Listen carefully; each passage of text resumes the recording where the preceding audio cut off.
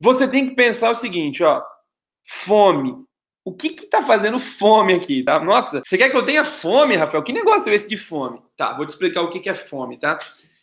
Nós brasileiros, a gente tem um problema, um problema gravíssimo. A gente tem um preconceito muito grande contra vendedor. Nós temos um preconceito muito grande contra as pessoas que vendem. A gente não quer que ninguém venda nada pra gente. Surge o vendedor, sabe o que acontece? A gente já cria um cenário negativo na cabeça. Eu vou, eu posso falar uma verdade aqui para você agora. Eu posso abrir um jogo para você.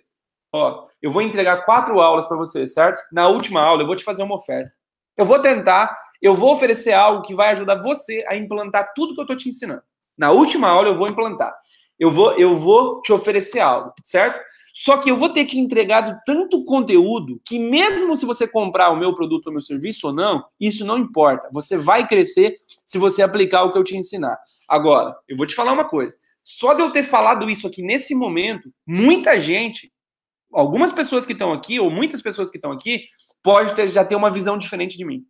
Pode já ter uma visão diferente. E as pessoas, lá no final da, no final da última aula, as pessoas que eu, quando eu fizer a oferta, eles vão falar assim, ó, sabia, sabia. Por isso que ele ficou entregando conteúdo para mim, porque ele queria me vender alguma coisa. Perceba como o ser humano é. Meu, eu tô entregando conteúdo de graça, eu não posso vender nada, eu não posso oferecer nada. Por quê? Qual é o problema? Você compra se você quiser. Compra se você quiser lá. Agora, o que acontece é que a gente tem receio de. A gente não quer que ninguém venda nada pra gente. Só que antes, enquanto você não desbloqueia isso no seu cérebro, enquanto você não sai desse preconceito, enquanto você não quebra isso, esse negócio de vendedor, você tem dificuldade de vender o seu próprio produto. Porque se você não quer que ninguém te venda, a tendência é que você também vai ser um vendedor meia boca, um vendedor meia goela. Aquele vendedor que o cliente, a primeira objeçãozinha que a oportunidade traz, ele já caga todo na, na, na cueca, já fica morrendo de medo, já se, já se trava todo. Então eu quero que você pense como está o seu comportamento com relação a isso. Você é um vendedor que tem fome? Quando você vai para vender o seu produto, você vai para vender o seu produto ou o seu serviço? Ou você, você é aquele cara que sabe, que confia no seu tato, que tem autoconfiança. Autoconfiança é outra coisa aqui, ó, é outro comportamento. Autoconfiança é outro comportamento do empreendedor de sucesso.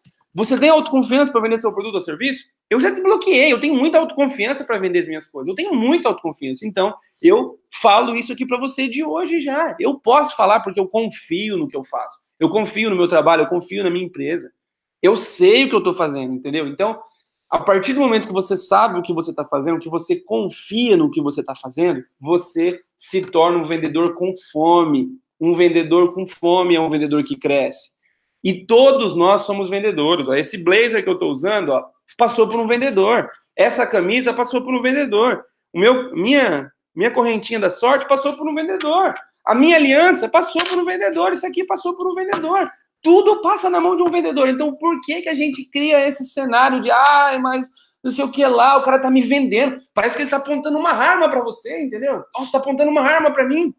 Meu Deus, ele quer me vender um produto. Ai, meu Jesus amado. Ai, ele quer vender a plataforma dele. Pô, como se tivesse alguma criança aqui. Eu tenho uma plataforma que trabalha com funil de vendas. Eu estou ensinando você como criar um funil de vendas. É óbvio que não faz sentido para você se eu vou vender de uma forma agressiva de uma forma sutil que a oferta está embutida?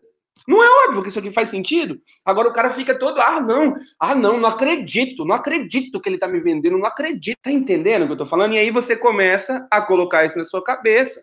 Eu falo, esse é, essa é uma das coisas. Eu vou falar aqui para você. Independente se você vai implantar funil de vendas ou não, só de você quebrar essa crença dentro de você, quebrar essa crença dentro de você, você passa a vender mais.